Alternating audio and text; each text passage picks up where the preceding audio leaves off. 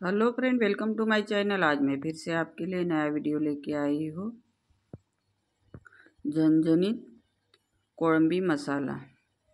तो यहाँ पे मैंने 250 ग्राम कोळंबी ली है और कोळंबी में डाल रहे हैं अभी हम आधा टीस्पून से कम हल्दी, आधा टीस्पून से कम मिर्ची पाउडर, आधा टीस्पून से कम गरम मसाला और स्वादानुसार डाल रहे हैं नमक। और थोड़ा डालेंगे धनिया पत्ता और मिला लेंगे अच्छी तरह से सभी सामग्री के साथ। और ढक के रखेंगे हम दस मिनट। अगर ये मेरी रेसिपी आपको पसंद आती है तो लाइक शेयर सब्सक्राइब ज़रूर करें और कमेंट में बताइए कि ये मेरी रेसिपी आपको कैसे लगी।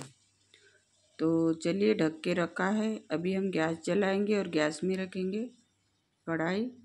कढ़ाई गर्म आ चुकी है। इसमें डालेंगे हम बस वन टीस्पून तेल तेल डाल के हम डालेंगे बारीक कटे हुए मीडियम साइज़ के दो प्याज। और इसको पलटा लेंगे अच्छी तरह से।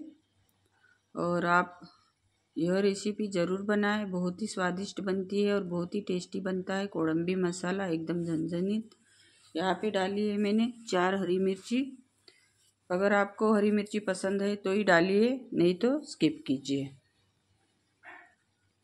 अभी हम डाल रहे हैं साबुत धनिया वन टेबल स्पून धनिया डाल के अच्छे से हम पलटा लेंगे और प्याज, धनिया, मिर्ची को हमें इतना ही पकाना है कि इसका बस कच्चापन निकल जाए। एकदम हमें सुनहरा करने की कोई ज़रूरत नहीं है।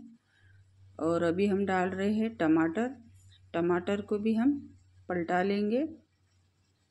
और देखिए मैंने इतना ही भुना प्याज को कि इसका कच्चापन निकल गया।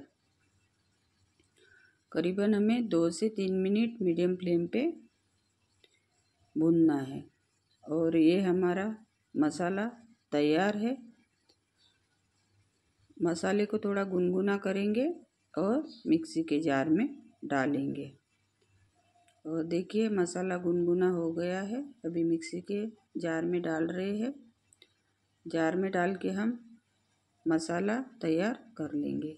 इसमें डालेंगे हम आधा इंची अदरक का टुकड़ा कट करके और एक पूरी लहसुन की गांठ ली थी मैंने, वो छिलके डाली है, आधा टीस्पून जीरा और थोड़ा धनिया पत्ता।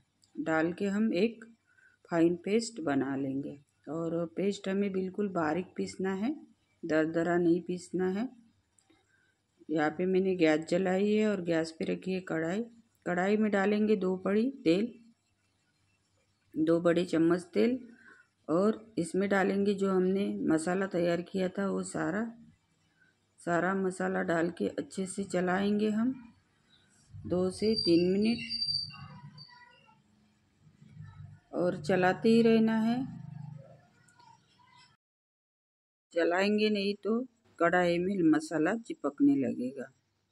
और देखिए मसाला तैयार हो गया है। यहाँ पे मैंने डाला है वन टीस्पून लाल मिर्ची पाउडर और लिया था वन टीस्पून कश्मीरी लाल मिर्ची पाउडर।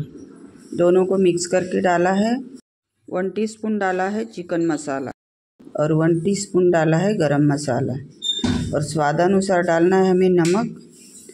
नमक डाल के अच्छी तरह से मसाला मिला लेना है और मिला के हमें दो से तीन मिनट मीडियम फ्लेम पे पकाना है ताकि मसाला अच्छे से पक जाए।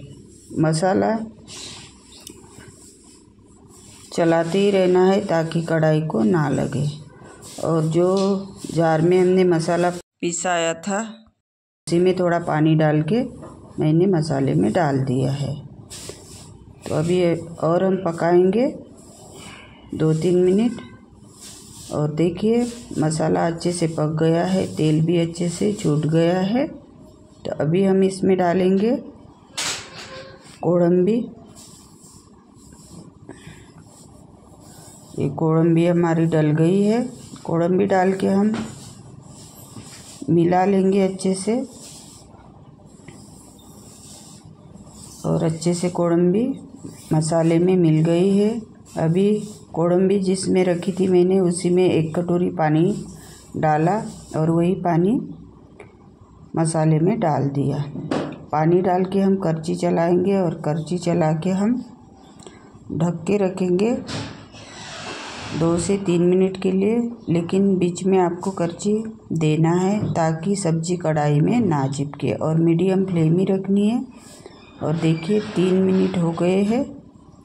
और तीन मिनट के बाद में देखिए, अच्छी तरह से सब्ज़ी का कलर चेंज हो गया है, कॉफ़ी खुशबू भी आ रही है और देखिए, तेल भी अच्छे से छूट गया है।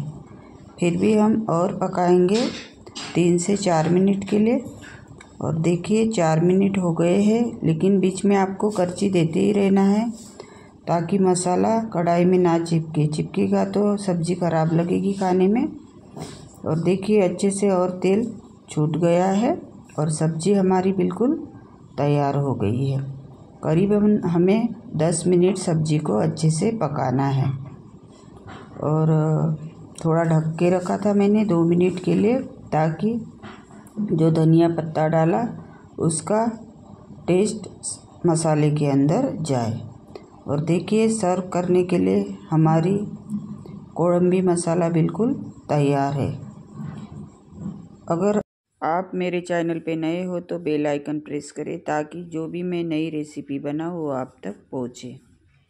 धन्यवाद।